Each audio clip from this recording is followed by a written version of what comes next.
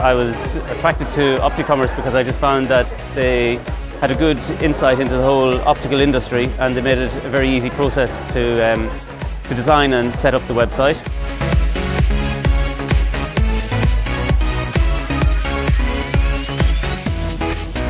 I looked around and I happened to come across the whole Opticommerce concept and uh, I have to say I was quite blown away by it. I thought this could be great.